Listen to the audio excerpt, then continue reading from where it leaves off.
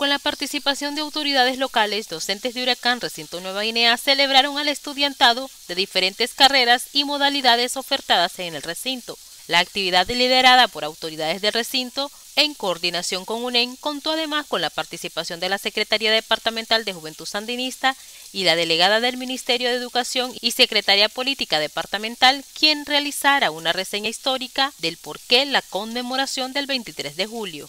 Esté aquí presente en Nueva Guinea y que hoy nos podamos reunir esta buena cantidad de personas es un logro importantísimo que tenemos que tomar en cuenta que nace a partir del producto o es producto o es hija de la autonomía regional la Costa Y si hoy tenemos la oportunidad de formarnos en casa, antes no podíamos hacerlo, antes teníamos que salir.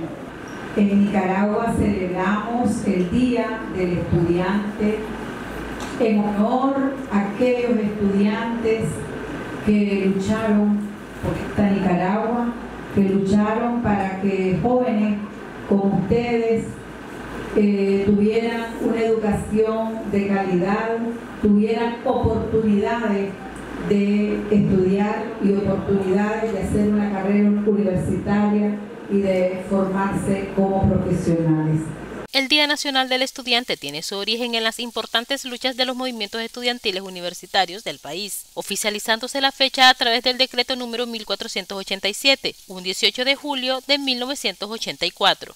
Fueron momentos bien tensos, momentos difíciles, que la estudia del movimiento estudiantil en la lucha y en esto murieron varios jóvenes. Hay un muchacho de, de Huigalpa, Porfirio creo que se llama, ¿verdad? Cayó en, esa lucha porque inclusive eh, le echaron la policía a los estudiantes y murieron varios jóvenes. Hay unos compañeros que quedaron eh, de por vida lisiados, ¿verdad? Sin ojos, sin piernas, porque fue una dura lucha campaña.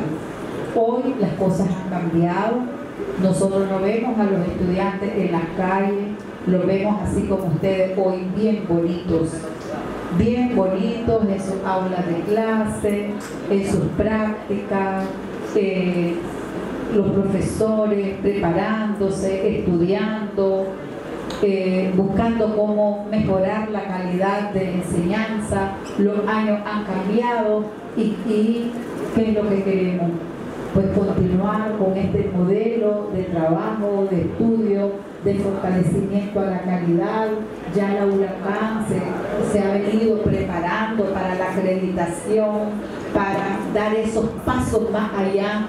Entonces son otros años que nosotros tenemos que entender y, y fortalecer todos estos procesos buenos que estamos viviendo con este gobierno que preside el comandante Daniel y que ha venido a fortalecer todo el modelo educativo en nuestro país. La actividad además promovió el deporte y la alegría entre el estudiantado. Concluyó con una tarde de actividad deportiva, animación en vivo y la alegría del compartir entre la comunidad universitaria. Huracán, la primera universidad comunitaria intercultural en América Latina.